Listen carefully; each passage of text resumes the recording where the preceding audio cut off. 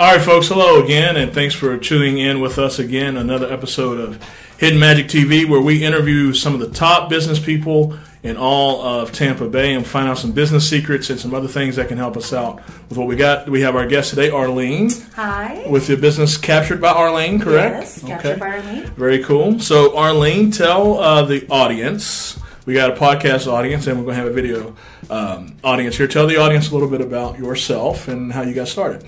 Okay, well, um, I've been about five years now um, doing the business, and you know, it's just one of those things. As um, stay-at-home mom, I was I loved what I was doing. I loved being the mom, but my husband saw the talent, saw the gift, and he one day said, you know, you should really start a business. Everyone keeps asking you to do their wedding, to do their baby shower, to do their bridal shower. Um, why don't we start? My answer was no, no way I could never own a business. And um, my husband, one day I got this really big um, job, and he's like, listen, it's time to start. Yeah. It's time to invest in yourself, invest in our future. And it was a scary step. Um, we did it, and we did it, jumped right in, and I'm glad we did. I, I haven't looked back since. I'm. It's there's nothing like being your own business. Um, you know, business owner and being able to set your goals and your param- parameters and deciding where you're going to go and where you're not going to go. I, I love it, and I, I would never go back. you think you could go back, like actually work for somebody? Um, I actually considered it. I was offered a job from my old um, credit union that I worked for for 10 years. I, I did. I, I actually considered it for a little while because they saw what I do. They saw my personality. They thought I could really get out there for them. Um, and I would have loved that job, but nothing's like being your own boss. Yeah. Nothing. There's nothing. I couldn't go back. There's no. I didn't. I There's didn't. no. There's no way I can go back. I mean, it, you, you. I mean, it's it's it's one of those things you're either made to be a certain way or you're not, and it's just I, I couldn't do it. Right, I don't think I could do it. So it's interesting that you were. You said you were a stay-at-home mom for for a while. Yes, I Right. homeschooled my children and stayed home. Okay, so talk about when you when you. How did you get your first job? Oh gosh, well, I guess it started off um, the big the biggest job. Um, my daughter was working at uh, Happy Hanger Cafe, which was across the street from my house, and or is still. And my my daughter was working there, and I saw on um, on their counter um, the festival flight, and I just looked at it and I was like, huh, I wonder if they have a photographer, you know. So I, I went up to the counter. I kind of asked them, "Do you guys have a photographer?" They said no, and that they really would like to have one. So I, I they're like, "We are expecting a thousand people at least," Wow. and I was like, "Okay." Well, the very first year was five thousand people. Really? The second year was almost 10,000 people, and the third year was just insane. People coming from Orlando. So I did it for three years for them, and I loved every minute of it. So, nugget for the business listeners: you doing just living your life, saw a potential opportunity. You took the first action. Mm-hmm. I did. Reached out, pitched, Yes. or just or kind of investigated, right? and they said no, we don't have a photographer. Then you pitched, Mm-hmm. and they accepted the pitch. Yes. But none of that would have happened if you had looked at it and quieted that voice and just ignored it. Exactly. No, and that's one thing I would say for anyone that is considering it, it just keeps nagging in the back of your head. If you feel that your heart pounding and you feel that moment, there's going to be a pivotal mo- moment when you decide to own your own business. And if you quiet, like you said, quiet that voice, you're just look at if you know me look at where i'm at today and where i was almost five years ago if i had quieted that voice i would not be the person i am today honestly i wouldn't be Yeah. So, were you like playing around, like doing little things with photography? i was Okay, so so you were kind of, if I can use the phrase, not to be uh, demeaning, but you were toying with it, maybe just kind of. It was a hobby. Mm-hmm. Kind of okay. So you were playing around with it. So it was a hobby that grew into. Your husband said you now say, look, you can make some money with this, oh yeah right? oh yeah And then he kind of nudged you into. oh yeah literally when he made that decision and um, i got that job he goes um, he goes so we're, we're getting an llc right? We're, we're going all the way. You're not just getting a dba and i'm like uh-huh. And then he got business cards for me. I'm like uh-huh. And Now, then he's like i got a website? Oh yeah. It's it's anything unknown is somewhat scary. Yeah. Um, especially when I've never owned a business. I've never I've never owned anything and, and to own that and to say that I'm in my name. My name is on my business. So to put my name out there and say, um, this is me, this is Yeah. who I am, and I, I want to give you the best work I can give you, that's scary. That's scary that I don't I'm not just doing it for your birthday gift or your baby shower gift or your wedding gift. I'm Right. doing it for money. I'm saying I'm valuable enough to ask for that money from you. And that was a scary step.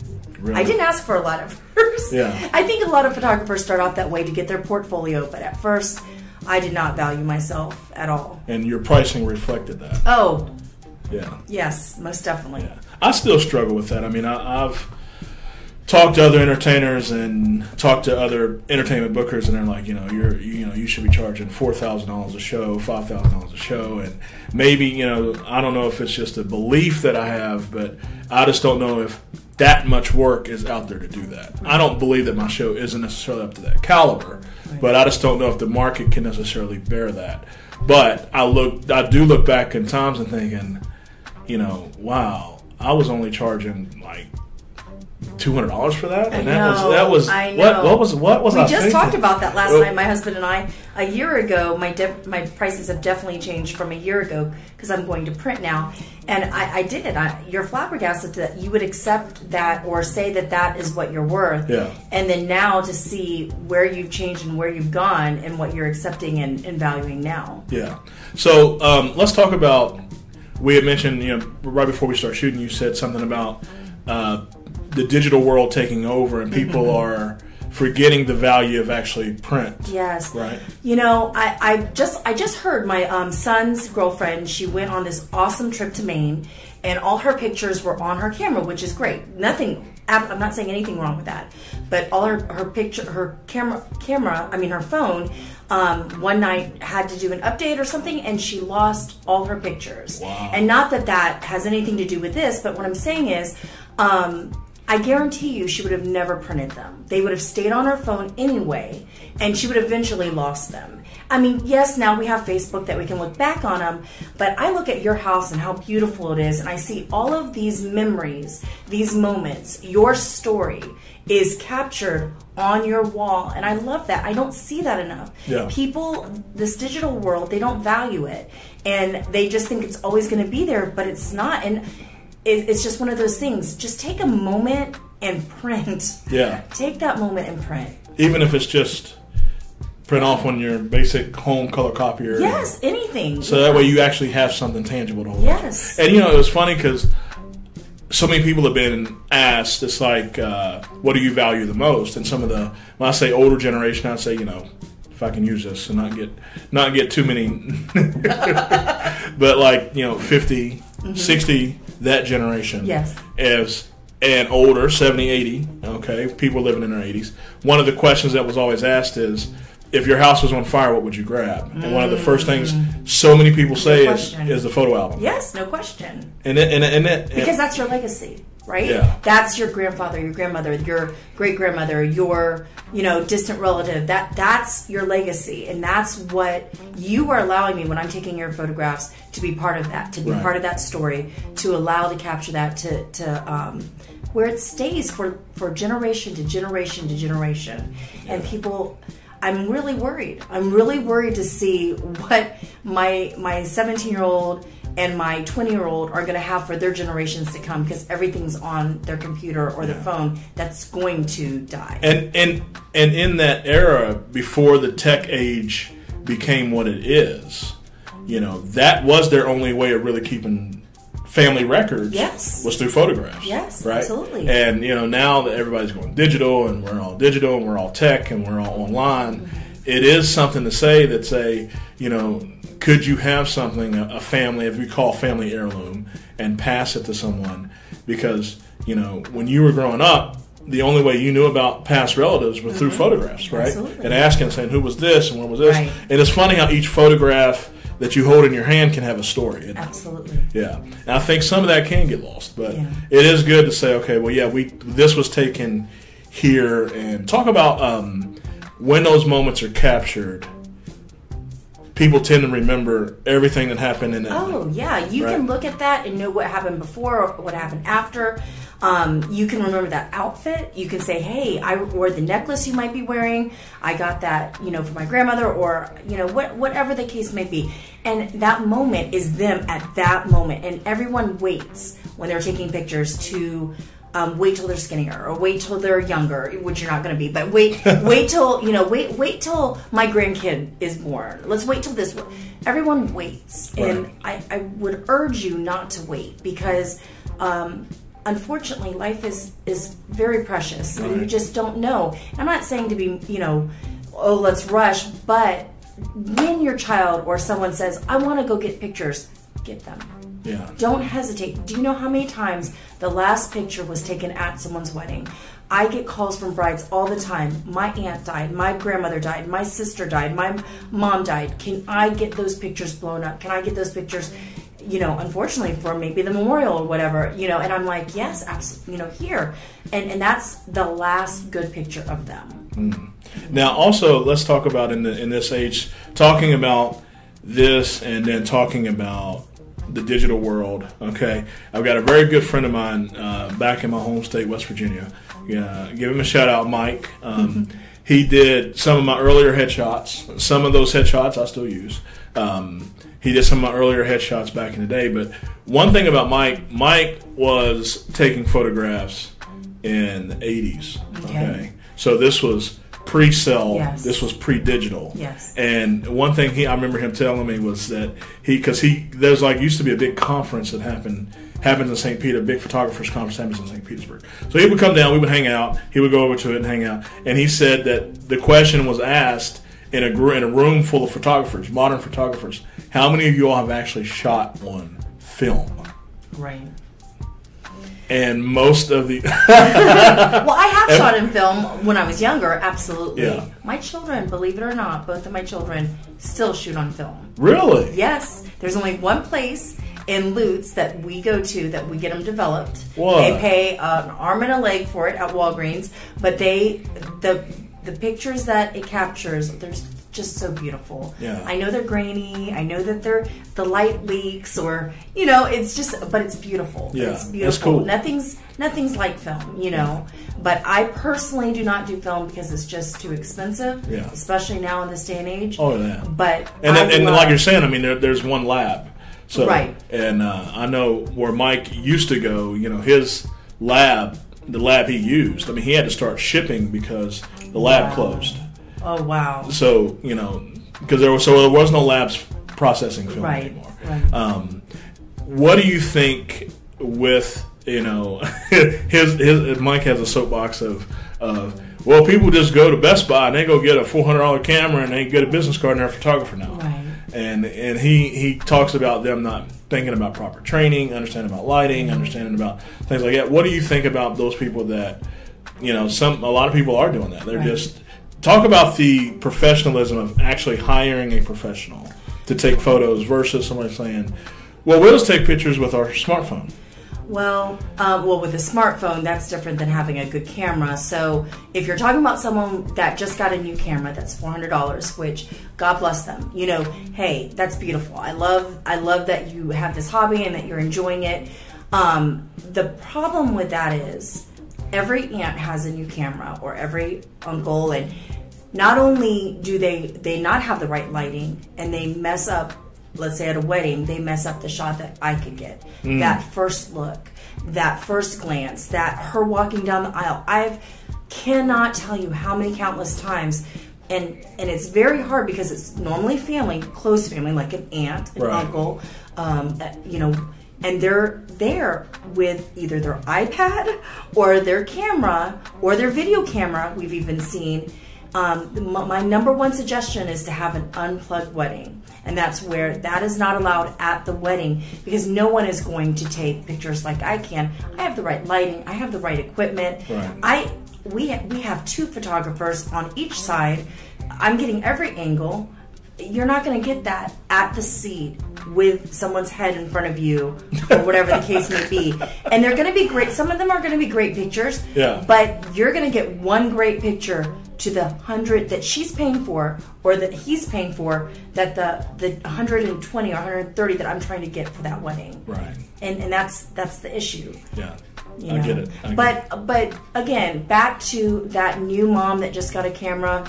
You know, God bless them if they if there's nothing wrong with doing a hobby and starting off, but yes, it does seem like there's always someone else, you know, saying, I can do it for $25, I can do it for, but you're going to get what you pay for. You are. That's you're going to get what you pay And talk about talk about uh, we talk you know we were talking about what we were going to talk about before, uh, as far as people trying to talk down a business owner and trying to talk you down on Mm. your pricing. That's one of the most um, disheartening issues that I, I experience as a business owner. Yeah. You know, if you went to Best Buy and you went to go buy that camera, you would not be able to talk down that price. It's $400 on a sticker.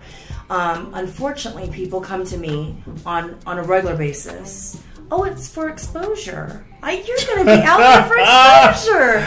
Or, or it's it's you know my my mom's sick and you know what however to pull out the heartstrings because i do love people and i love my job and i'm definitely not about the money but i am supporting my family Right. and i am i am away from my family many many hours not just not just at a shoot but on the hours of editing Right. it is for every hour there's at least three hours to editing Yeah. and and so you see me oh you're charging that much for an hour well yeah i'm charging that much But because there's so much not- more going into oh yeah my equipment Yeah. everything. My light everything has to be taken care of. My taxes the tax i have to pay taxes on it. Oh, yeah. you know everything. So it, it's just disheartening. They would not do that. You know I, now maybe there are some people that would. Hey i don't like that price. Let bring it down but for the most part you wouldn't do it most people would not do that but they have no problem trying to do that to a photographer or to a makeup artist or to a hairstylist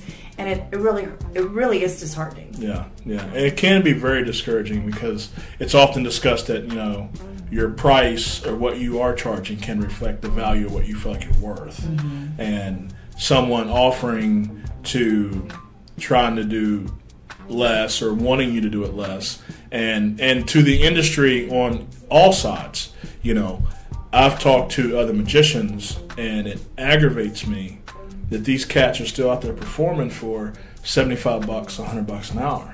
yeah And it's like, look, pal, I get that you are doing something else and you just want the gig because you're not doing anything, Right. but you can't, a professional can't make a living doing $100 shows. Right. I mean, uh, every week. You're I mean, bringing up a great point. You can't do Um, that. Yeah, everyone that does that, you're right. Every mother that does that, every family mem- fr- friend, friend that does that, you are making the average go down. Yes. You are hurting the professional. Absolutely. You're making a very good point. I mean, it's like if you go, if you were to go, if you have a car and you go to an auto mechanic and you go to a dealership, you already know the dealership's going to charge you anywhere from 85 to $100 just to look at your car mm-hmm. because that is what the dealership does. Right. There is no, and I mean, everybody's unanimous on that.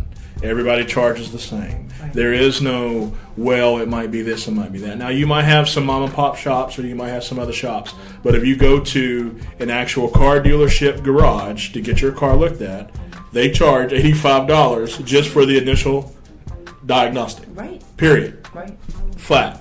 And I'm trying to get other entertainers to get on board and say, look, man, you got to quit doing these $200 shows Right. because if we're all charging the same, Right. the market has to pay the market. Right. I agree. It's not you. Well, you're you know you're, we're going to pay two hundred dollars over here. I mean, it, it, it hurts. It hurts the entire. It hurts the entire industry. You being a professional and getting into doing it. You know, I, you mentioned the LLC part. We got to bring up. We're going to give Mark a plug here. Okay, we got to give Mark a plug. So you are part of a professional organization called RGA. I am, and I'm very proud of it. Okay, all right. So let's talk about RGA and what, what it does. Well, first, I'll tell the audience what RGA stands for. For those people that don't know what RGA stands for.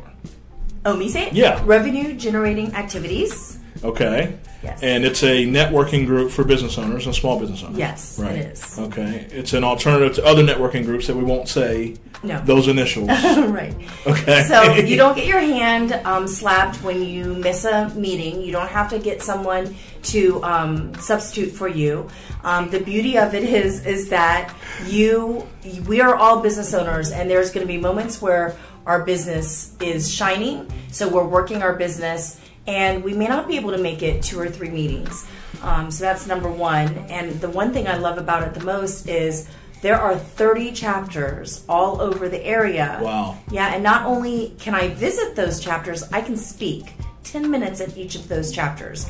Um, it's just a wonderful time, and it's not selling my product, it's selling me. And that's what I love about RGA. Yeah. So RGA has 30 chapters. You can network and meet other business owners. Yes. You refer work. We refer work back and forth to each other. Right. Right. And that's also a good thing. And it's, it seems like it's a very positive environment. It is, but there's one that is the most dynamic, the best one that everyone Oh, should she's visit. going. Oh, she's going to plug a chapter now. over at Glory Days Grill at 11:30 on Tuesday, 11:30 to 1. We would love to have everyone stop by. Yes. Okay. Very cool. So, when you got an RGA, did you see a an, an influx of business? Did you see your business uh, referrals and things like that go up? Not at first. It took time for them to get to know me and trust me. But that's And I- like anything. Yes. I mean, so it took the me- audience has got to know you. They got to trust right. you. They got to like you, and then they buy. Exactly. It took about three to four months for me to be faithful, Yeah. consistent to the one um, meeting that I was going to, and then I would visit the others. So there were some that I would come or not go, um, but there was one that I always tried to be faithful every week, unless something was was going on. I would just always go to that one. Now I'm faithful to two, and then go to the others. I supplement the others whenever I, I can. Whenever And I it, it's